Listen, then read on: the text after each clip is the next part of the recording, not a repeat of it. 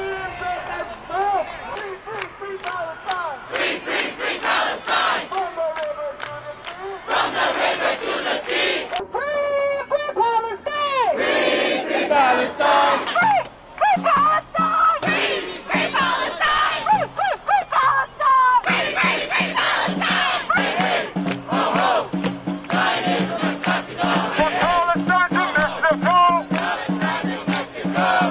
We're here to stand up and amplify the voices of the people in Palestine.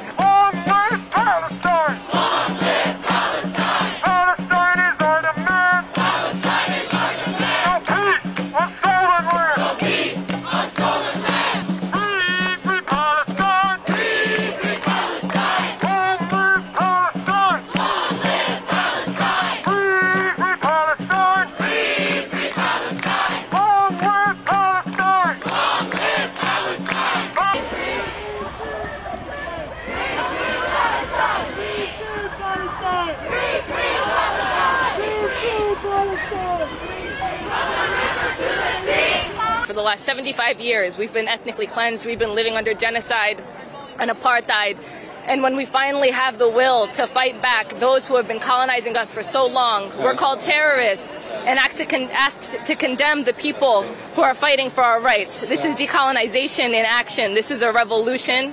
And if we were in the American Revolution back in the day, you wouldn't have been on Britain's side. You would want to be decolonized.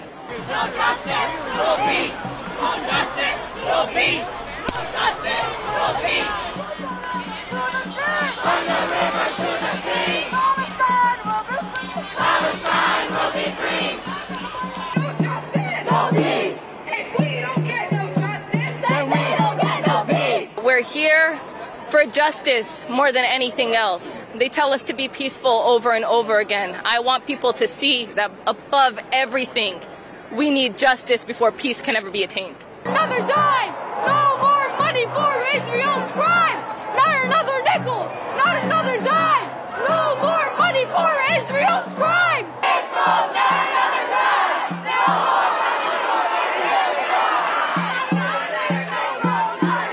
another nickel! Not another dime! No more money for Israel's crime! Free, free Palestine! a mass protest in Times Square to make it clear to the world that the people of New York stand with the Palestinian people and the people of Gaza, who are suffering right now under immense genocidal violence by the Israeli state.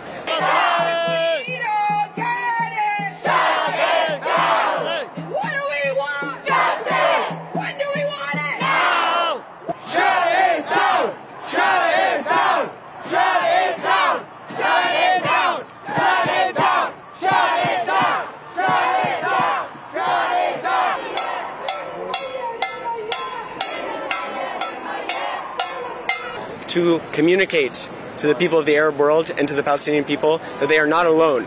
Despite the shameful displays of carte blanche endorsement of Israeli genocidal violence by the West, the Western media, and the Western governments of the world, we're here today to make it clear that we stand with them and that they have both a right and, and a justness to the resistance that they have been showing.